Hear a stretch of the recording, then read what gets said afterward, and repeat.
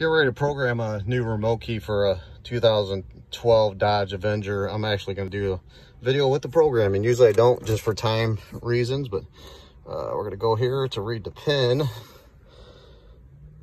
All right, switch ignition on. It's on. All right, down here, read the pin.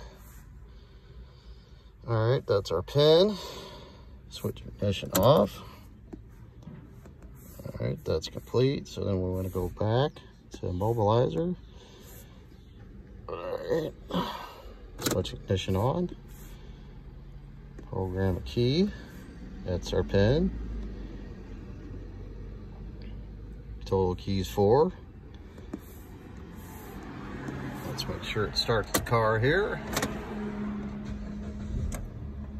Car fires right up. We're gonna check the remotes out lock, unlock, good to go. 2012 Dodge Avenger, key, ooh, key cut and programmed uh, for Hartman's Towing.